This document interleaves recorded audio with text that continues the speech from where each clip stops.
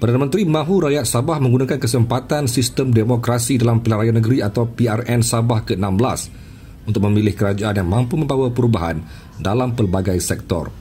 Tan Sri Muda Yassin berkata, rakyat Sabah tidak harus mensia-siakan peluang itu kerana PRN ini penting dalam menjadikan negeri lebih maju dan membangun. Beliau berkata, sambutan hangat yang diterima sepanjang siri kempen sejak minggu lalu membuktikan rakyat Sabah sudah bersedia menjadikan Gabungan Rakyat Sabah atau GRS sebagai sebuah kerajaan. Beliau kata demikian dalam majlis ceramah perdana GRS di Kampung Sedil malam tadi. Turut hadir Presiden Parti Solidariti Tanah Airku atau STAR, Datuk Dr. Jeffrey Kitingan, Presiden Parti Maju Sabah atau SAPP, Datuk Yong Tekli, Presiden MCA, Datuk Sri Wika Siong, Timbalan Presiden Parti Bersatu Rakyat Sabah atau PBRS, Atta Joseph Kurut.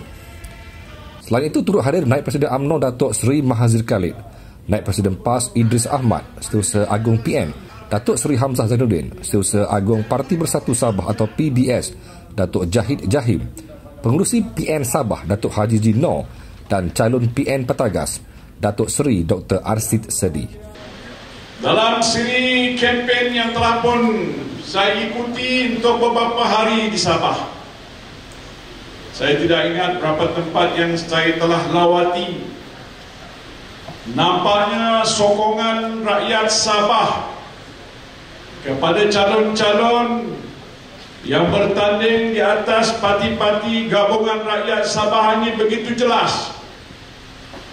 Ribuan yang telah berkeluar untuk menunjukkan pernyataan sokongan dan rasa sukacita untuk melihat bahawa akan ada satu perubahan besar yang akan berlaku selepas 26 hari bulan September yang akan datang ini.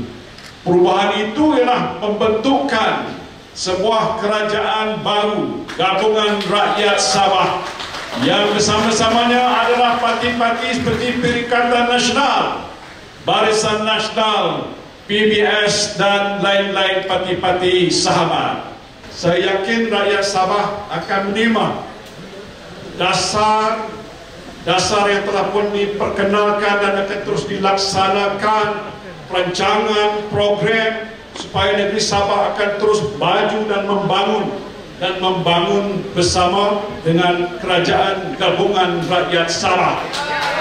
Ada Perikatan Nasional, ada Barisan Nasional, ada PBS nak disebutkan juga selain itu ada MCA, ada PBRS, ada PAS, ada UMNO, ada PBS, ada STAR, ada SAPP dan tak lupa ada bersatu.